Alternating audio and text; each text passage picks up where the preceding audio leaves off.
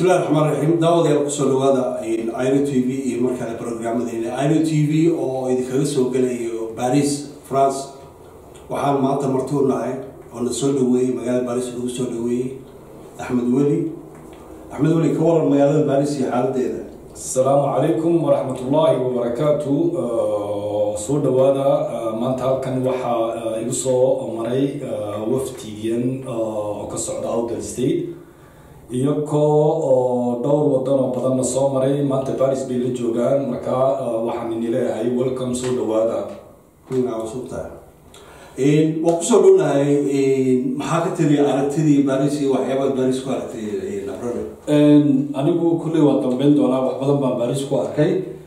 Bal waxaan rabnaa wax yar innaga iyo daawadayaasha axmed bal iyar inuu noo iftiimiyo magaalada baris taariikhdeeda yar ee kooban iyo waxyaabaha caamka ku tahay kolka annaga ku xigi doonaa.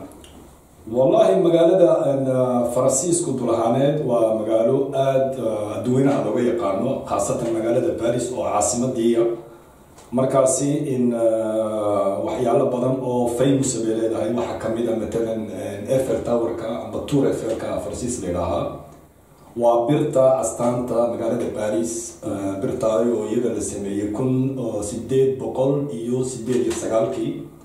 Markay xusayeen boqol sanadood kadib kacdoonkii ay ku rideen boqortooyadii. Marka waxaa kala jirta iyaduna avenue de champs élysées meel la yidhaaho oo maxayde habeenkii iftiinkiga aad ku indhadaraandaraysid dul ahaaneedna de magaalada baris waxaa la yidhaahaa waa waa magaaladii loofka jacaylka marka insha allah waan in dalxiis u tegaynaa. Dhulkaa waan ini geyni. Markaa mar labaad waxaan ini leeyahay soo dhawaada soo dhawaada welcome to baris aada baa umahadsan tahay. Maxaa ku dari leeda abrone dabcan anigu runtii baris umaahanay faransiiska tan iyo intii aynu soo galnay oona ka soo tallaabnay xadka belgiumka waxyaaba aada iyo cajabgeliya waxaa ka mid ahaa dhulbeereedka wadankan faransiiska uu leeyahay. Oo aada moodid wadanka intiisa badanba inuu dalab ka soo go'ayo oo dhulbeereed aada u tiro badan. Ayaanu hareer soconay ilaa iyo markaanu belgiumka ka soo tallaabnay. Waxaan arkaynay kambaniyo aada u waaweyn oo waddada hareeraheeda. Waxaa kaloo indhahay uga qabanayeen. Gawaarida waaweyn ee traagyada ah ee waddamada isaga kala goosha oo aada malaayiin ah ayaanu indhahay uga qabanayeen ingiriisku aanu joogno way ka jiraan laakiin inta badan waxaa la yihahdaa wadanka faransiiska wuxuu halbowlo u yahay intaasaan maqli jiray wadamadan yurubta oo gawaaridaasi yani alaab badan ayay runtii ay meelo badan u sii kala gudbiyaan. Baris soo gelisteedii waxaynu soo xasuusisay meelo ka mid a. Dadka ku nool yani sida dadkan ka yimaada qaaradda africa iyo asia qaybtii aynu magaalada ka soo galnay waxaa aada indhahay lashaabeel waxaa aada indha qabanayeen dadka asiyaanka iyo afrikaanka ah xilli habeen bay ahayd.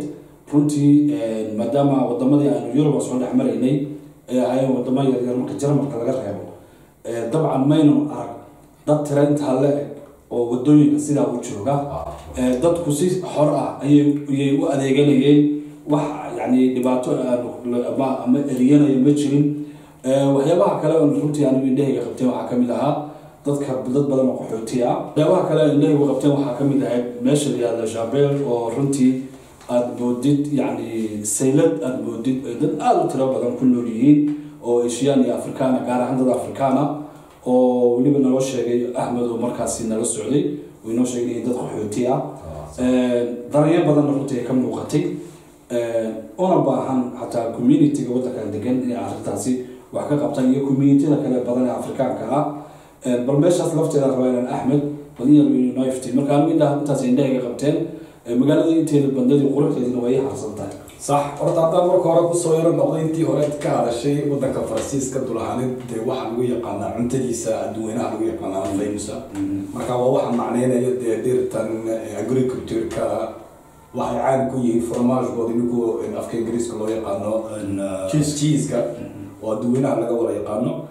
Haddaan wallaahi ku soo noqdo meeshan lashaabeel eed ka fajacdeen meeshaasi waxa weyaan waa meesha dee baris qaxootiga dadkani ee badda ka soo tallaabaya soomaaliya hadday noqoto. Suudan east africa iyo africanka maxaa francofonka amba afka faransiiska ku hadla.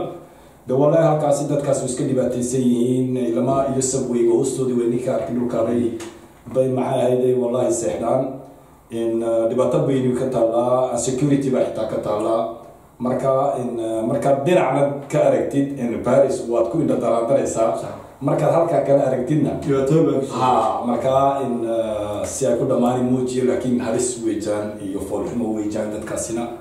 Waa dad soomaali u badan yihiin uh, oo iska dhibaataysan. Marka de waxa la odhan karayo maalinkaa maanta ama jirto meesha way ahaadeen ha dowladuna dee malaha way ka tala badatay way ka fara badatay waa dad iyakuna noloshii ka dhacay markii waraqadii laga raajiyey. Marka oo dhibaato badan baa horta ereyada la shaabel ka taagan. Laashabel waxaa kaloo ku aragnay meherado badan oo soomaaliyeed runtii oo cunto wanaagsan Sax. labada dhinacba dee dhinaca Ah. dhibaatada iyo dhinaca shaqadaba labada. Ah, dad soomaaliya oo meherado fiican haysta oo qurux badanna waan soo aragnay waxaanu aragnay dad waayeel oo weliba dumar waa- waaweyn u badanna waanu aragnay. Yacni dhan walba dee nolosha yani dhinaca wanaagsan iyo dhinaca kaleba way leeyihiin. Sax. Marka waad ku mahadsantahay. Waxaa jirto meelo badan oo soo marnay dadyooga afrikaanka ama ajanabiga guud ahaan way joogeen. Marka maxaa keenay inaa markaa baarisa timid aad aragtay ajanabiga aad aragtay? Kuwii kale iyo kuwan maxay kula duwan yihiin? Horta aniga wax badan baan soo arkay runtii aan mar gooni ah ka warbixin doono wadamadii belgiumka iyo jarmalka iyo holland siduu sheegay eh, gandhi ajanabiga ama dadkeenan africa ka yimid iyo asia way joogeen. Laakiin wadamadaas waxaad moodaa inay dadeen yani baahidii dadkaasi inay ama dee si kale u dadeen ama awoodaha dowladeed lagu qariyey ayaa muuqatay. Waxaa kaloo muuqatay sida hal- halkan waxaa iyadana aan ku aragnay dadka xorriyad badan inay haystaan. Laakiin wadamadan soo marnay xorriyad sidaa u badan ma jir ma jirin oo dadka xataa waraaqaha haysta ama dadka dhulka degan runtii waxay muujinayeen in ad adeeg iyo ad dowladnimadu inay tahay shuruuc adag inay leedahay. Ee, marka tan waxaan isiri ama dee sidaan u qaatay anigu in ay dadku haddii waraaqihii waayaan qudheeda dee xor yihiin inay ku noolaan karaan wadanka laakiin wadamadan soo marnay dadka looma ogolo inay bilaa waraaqa joogaan. Haddii jirtana dee kulley waxaa dhici karto inaynan beelaha babliga dadka aysan iman karin oo cabsi dowladeed ay jirto. Marka anu saasaan u arkaa kala duwanashaa okay waxaa tiri dowladdu wa- way kala weyday maxaa keenay macnaha ma waxay sii weyday sharci ma dhaqaaley sii weyday ma meeshay ka rari weyday waxaa jirto mashruuc ah olombikada Olympic-ga. olympic gameka. Sanadka soo socda tobanforka in la- lagu qaban doono. August. iyo arrimaha dowladda masleeda waxbay ka qaban doontaa wallahi horta faransiisku marka hore qaxootiga ugu fiicnaa marka anigu dhulkan baan ku noolahay tan iyo in uh, labaatan sannadood ka badan.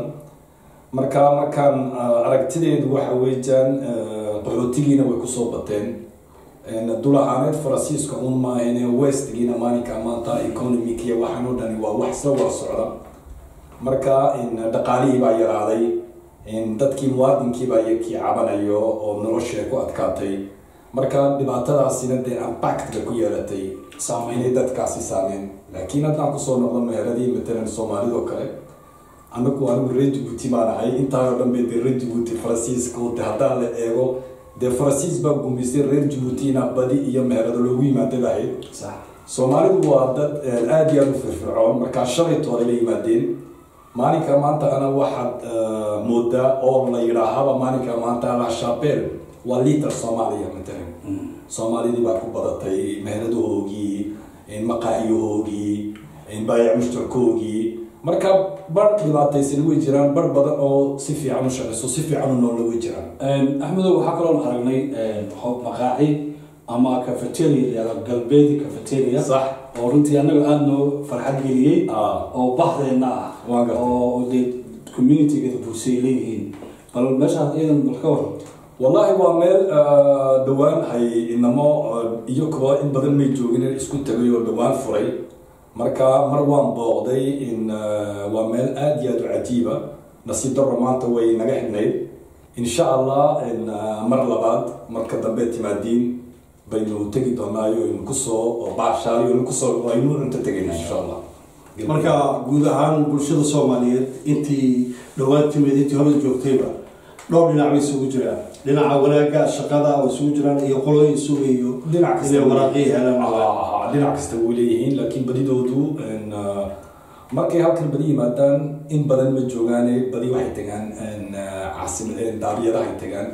Magaalooyinka. labaad matalan lyon oo kale magaalada amba labaad amba saddexaad baan umaleeya faransiiska halkaasi way ka buuxaan. Magaalo maxayday nont oo kale way ka buuxaan marka in- intani waa intay maxayday timiday ee dee diidan inay yara degto? Waana dee caasimadiiyo waa halkii shaqadiina ay jirtay markaasi dhulkaa kale dee dadku cayrin bay qaataan shaqaduna way ku yar tahay. Marka dadkiina waxay iska jecel yihiin inay halkan joogaan. Dhibaatadaasina way jirtaa laakiin aakhirataanka nolol marka dee ay noqoto in la sameeyo amba si fiican loo noolaado baris dee nin salbateeran baa ku noolaanaya reer iyo qoys iyo marka waxay tagaan xaas lahayn. Ha ninaan xaas lahayn ha marka waxay tagaan in daabiyada ay guuraan.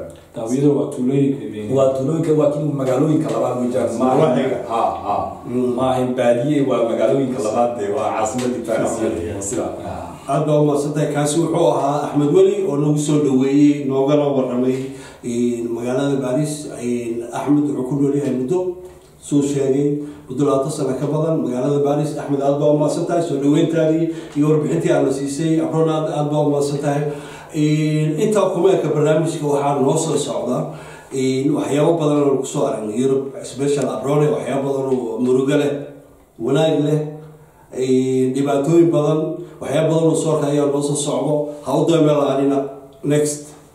Insha